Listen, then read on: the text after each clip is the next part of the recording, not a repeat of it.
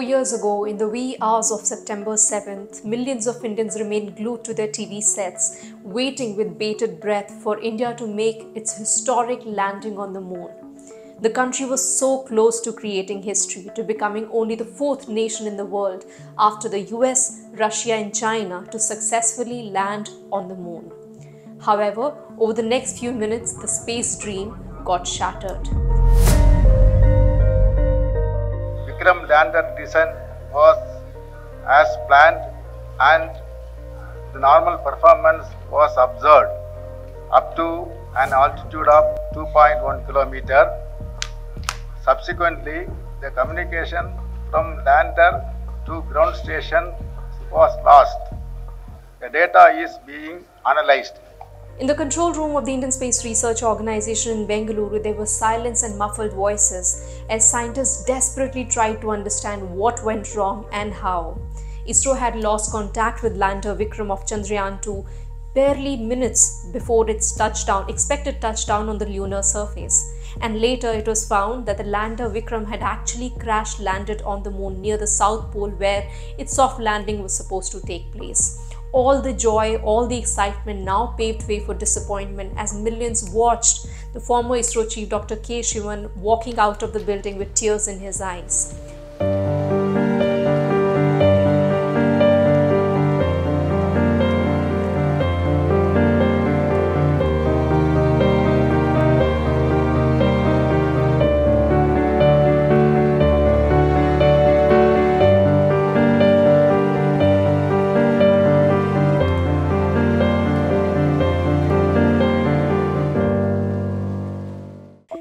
2023. India is ready with Chandrayaan 3.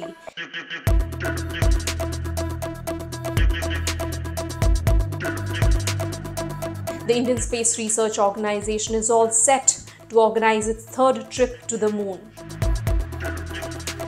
On July 14th, exactly at 2:35 p.m., ISRO's heaviest rocket, the GSLV Mark III, which is now known as LVM Mark III, will take off from Sriharikota near Andhra Pradesh with Chandrayaan 3 spacecraft and reach for the moon.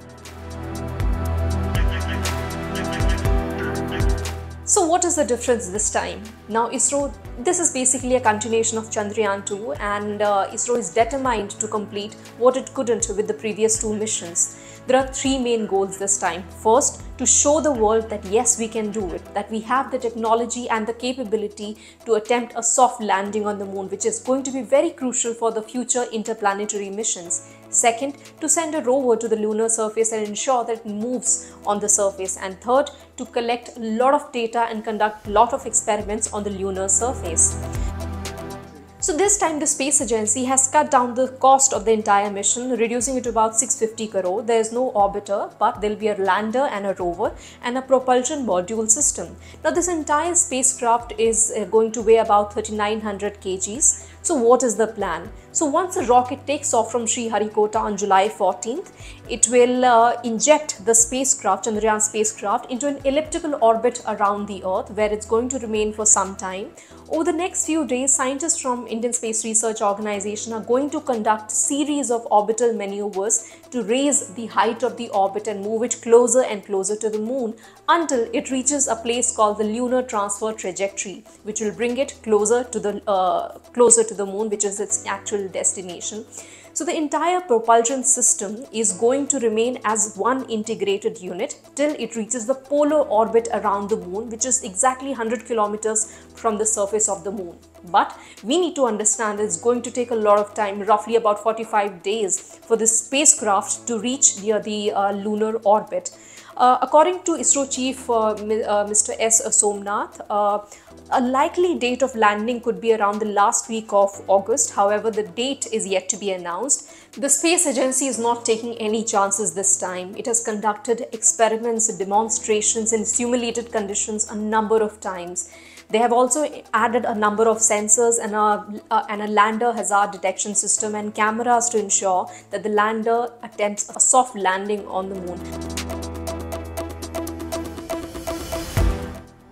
Now, if you remember, there was some problem with Chandrayaan 2 lander when it was about to make its soft landing on the moon. There was a software glitch and some sensors which did not work, and the velocity increased suddenly within a very short period of time. However, this time ISRO says that it's going to maintain a velocity of about 2 meters per second, the downward velocity with the lander is going to attempt its landing on the moon. So, why is the moon so important and why is this mission so important? It is important because India has to complete what it had set out to achieve in 2019 attempt a soft landing on moon which is going to be crucial for the interplanetary mission.